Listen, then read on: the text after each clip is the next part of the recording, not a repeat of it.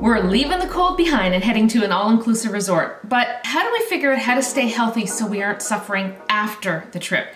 Stay tuned because I have my top seven tips to staying healthy at all-inclusive resorts and yes, you can still have a great time. Hi there and welcome back to my channel. If you're new here, my name is Deborah from Journey to Wellness where we work on eating healthy, moving well, and just living our best life. And right now it is March break in Nova Scotia, Canada, and it is dreary, it is cloudy, and it's been snowing and we are just looking to get away. And of course, for a lot of Canadians, we like to head to those all-inclusive resorts. I actually just returned from an all-inclusive trip to Mexico where it was my goal to be as healthy as possible while still enjoying somebody else making meals for me, spending some time relaxing by the beach, and of course, spending some downtime with my family. So let's get into my top tips.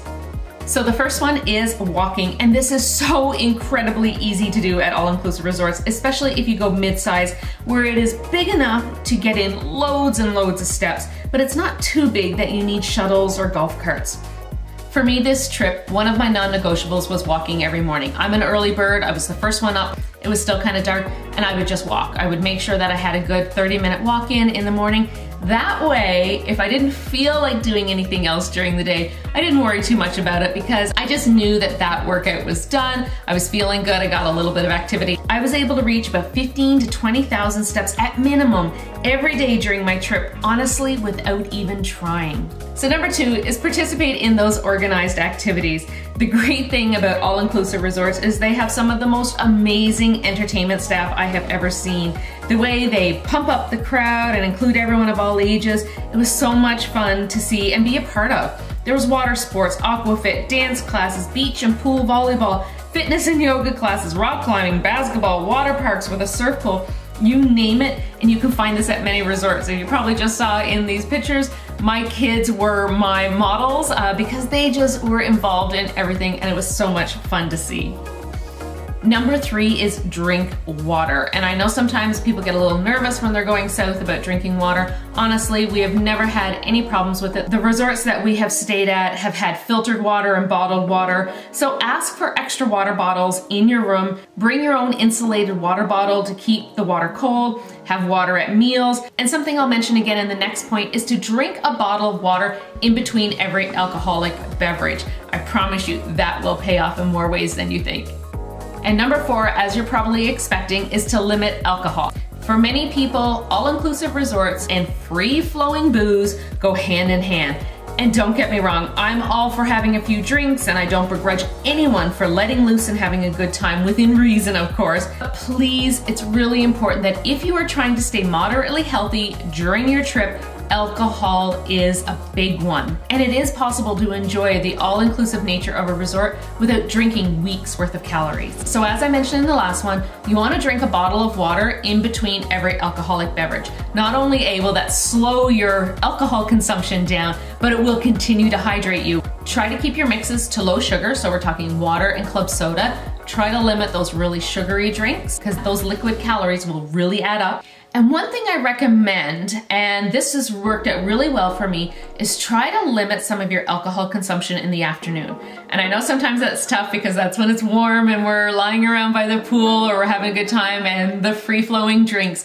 But what I have found is that for both myself and people I have traveled with, that when you drink a lot in the afternoon, it lowers your inhibitions and then you tend to overeat or choose really unhealthy foods later on. The next one is protein and produce, but of course a few treats are okay and I do encourage you to choose your treats wisely.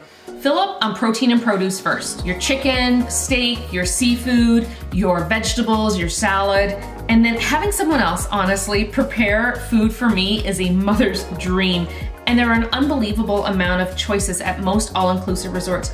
But you can choose your treats wisely. You don't have to eat everything just because it's there.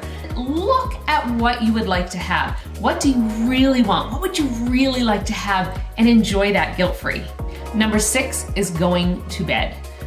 I know what it's like. We're at an all-inclusive resort. We wanna have fun, we wanna party, we wanna have a great time but we need our sleep. And I promise you to have a good morning where you're getting up, you're active, and you're having a lot of fun, you need to go to bed at a decent hour in order to do that. So don't be afraid to go to bed. If you're tired at nine o'clock, it is perfectly okay to go to bed at nine o'clock. So make sure that you're getting the rest that you need so that you can have an awesome time at your all-inclusive resort.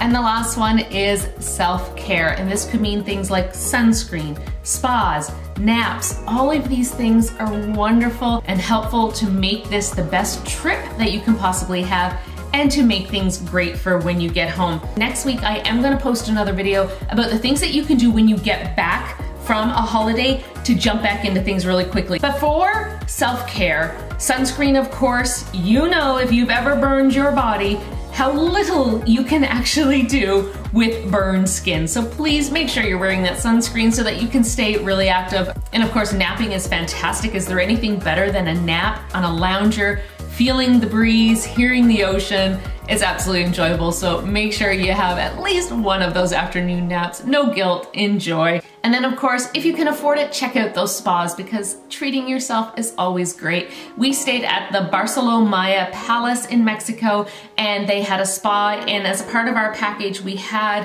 one hour per day in their hydrotherapy circuit, which is a lot of like hot cold. And it was just a really nice treat. So massage, pedicures, manicures, facials, do something that's gonna really treat yourself and enjoy. I encourage you to try to remember that you can absolutely have a great time at a resort. You can relax, you can let loose a little bit, you can forget about work. I loved putting my laptop away, but that doesn't mean it has to be a free-for-all booze fest, food fest. I know that sounds like a lot of fun, but it doesn't have to be that way. And I promise you, at the end of that trip, if you have a little bit of self-control and you follow some of these steps, when you come back, you are gonna be so much happier and you're gonna be proud of yourself for doing so. If you like this video, please give it a thumbs up. Make sure you subscribe and hit that bell to get notifications when new videos come out, especially that one next week where we're gonna talk about how to recuperate. And thank you so much for being here. I appreciate you all so much. Live your healthiest life, live your best life, and I will see you soon.